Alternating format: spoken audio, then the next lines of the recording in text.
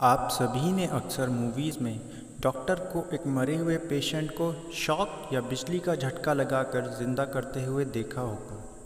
पर क्या आपने कभी सोचा है कि ऐसा सच में पॉसिबल है कि नहीं? वास्तव में अगर किसी इंसान का दिल पूरी तरह से धड़कना बंद हो जाता है तो उसे शॉक देकर दोबारा से स्टार्ट नहीं किया जा सकता है। ये एक बिना पेट्रोल की गाड़ी को स्टार्ट करने जैसा होगा। किसी इंसान को सिर्फ़ तभी तक ज़िंदा किया जा सकता है जब तक उसका दिल थोड़ा सा भी धड़क रहा है। हमारा दिमाग हमारे शरीर का बहुत इंपॉर्टेंट हिस्सा है। हम अपने दिमाग के बिना कुछ भी नहीं कर सकते हैं। यदि हमारा दिमाग काम करना बंद कर दे तो हम केवल एक ज़िंदा लाश की तरह होंगे। ऐसा माना जाता है कि हम अपने दिमाग का सिर्फ़ टेन परसेंट ही यूज़ करते हैं। पर यह बिल्कुल गलत है। हम अपने दिमाग के सभी हिस्सों का अलग अलग काम के लिए यूज़ करते हैं। सिर्फ़ कुछ शब्दों को बोलने के लिए ही हम 10 परसेंट से ज़्यादा दिमाग का यूज़ करते हैं। टीवी और मोबाइल का यूज़ करते समय अक्सर आपने ये सुना होगा कि टीवी, मोबाइल या कंप्यूटर को ज़्यादा देर तक यूज़ करने से हमारी आईसाइट वीक हो जाती है। पर असलियत में ऐसा बिल्कुल भी नहीं होता है। टीवी मोबाइल को यूज़ करने से हमारी आँखों को कोई परमानेंट नुकसान नहीं होता है। आप सभी ने कभी ना कभी अपनी उंगलियों को ज़रूर चटकाया होगा और ये भी सुना होगा कि उंगलियों को चटकाने से उंगली मोटी हो जाती है और इनमें दर्द होने लगता है। लेकिन ऐसा कुछ भी नहीं है। ये सिर्फ़ एक अफवाह है। कभी ना कभी आपने ये ज़रूर सुना होगा कि ये शैम्पू यूज़ करने से स्प्लिट एंड्स, जिनको कि दो मुँहे बाल भी कहते हैं, ठीक हो जाते हैं। लेकिन कोई भी शैम्पू या कंडीशनर यूज़ करने से स्प्लिट एंड्स ठीक नहीं होते हैं। सिर्फ़ बालों को काट कर ही हम इनसे छुटकारा पा सकते हैं।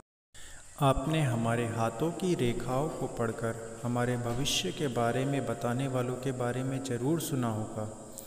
लेकिन क्या ऐसा सच में मुमकिन है? तो आइए पहले ये जान लेते हैं कि हमारे हाथों पर ये रेखाएँ बनती कैसे हैं।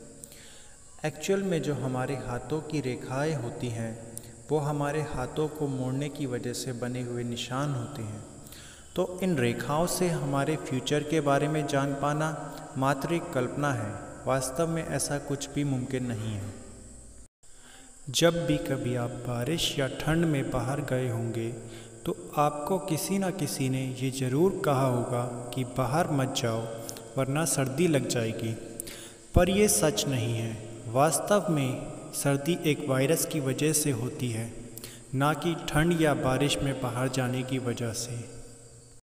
मूवीज़ में सांप के काटने पर एक्टर को चूस कर जहर निकालते हुए तो आपने देखा ही होगा। लेकिन क्या रियल लाइफ में भी ऐसा करके किसी की जान बचाई जा सकती है? ऐसा करने से कोई भी फ़ायदा नहीं होता है। इसलिए डॉक्टर उस जगह पर कट नहीं लगाता है।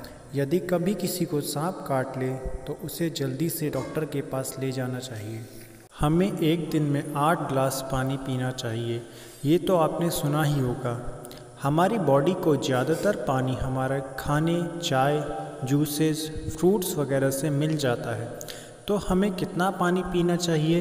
ये हमारे खाने काम और रहन सहन पर डिपेंड करता है। जब भी किसी की नाक से खून आता है तो ये कहा जाता है कि अपना सर पीछे की तरफ़ झुका लो। ऐसा करने से नाक से खून गिरना तो बंद हो जाता है, पर वो हमारी बॉडी के अंदर जाने लगता है, जिससे कि और भी ज़्यादा परेशानी हो सकती है। अगली बार जब भी किसी की नाक से खून आए तो बैठ जाइए और अपनी नाक को अपनी उंगलियों के बीच में दबा कर रखिए।